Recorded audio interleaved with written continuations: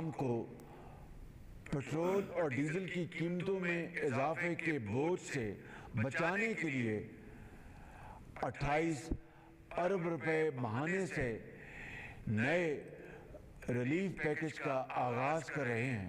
Utility stores corporation को हदायत की है कि पाकिस्तान भर में 10 किलो आटे का थैला चार सौ में आवाम को फरोख्त किया जाए।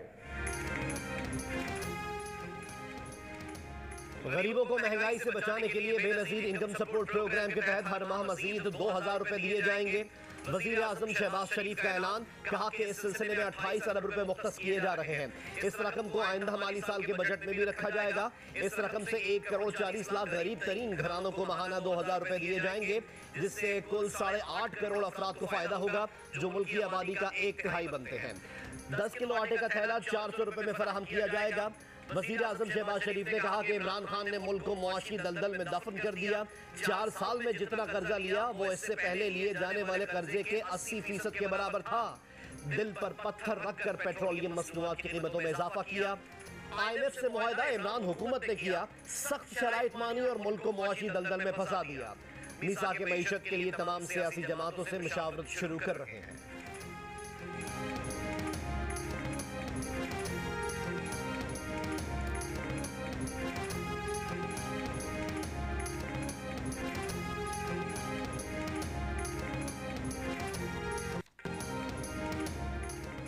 घी, दूध, दही, आलू, टमाटर, प्याज, अंडे, दाल, चना, दाल मार्च समेत सताईस अशिया की कीमतों में इजाफा।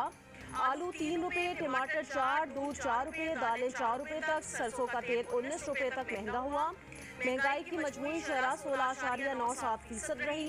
इदारा शुमारियात के मुताबिक रवा हफ़्ते एल पी जी घरेलू सिलेंडर, चिकन और लहसुन समेत पाँच अशिया जरूरिया की कीमतों में कमी हुई। तीन हफ़्ते बाद महँगाई में आशारिया दो फ़ीसद कमी रिकॉर्ड की गई। वज़ीर आज़म शहबाज शरीफ की नाम लिए बगैर इमरान खान पर तनकीद कहा एक शख्स मुसलसल झूठ बोल रहा है। अपने मनफी सियासी एजेंडे के तहत कौमी मफदात और पाकिस्तान के सिफारती ताल्लुकात को नुकसान पहुँचाया जा रहा है। दोस्त मुल्कों को नाराज़ कर दिया गया। अमरीका में हमारे सफीर ने भी साजिश की कहानी को यकसर मुस्तरद कर दिया। कौमी सलामती कमेटी ने भी दो मरतबा साजिश की कहानी को मुस्तरद किया। अगर कोई ये समझता है कि उसका घमंड और जिद दस्तूर पाकिस्तान और आईनी इदारों की मुतफ़ा राय से मुकदम है तो ये उसकी भूल है।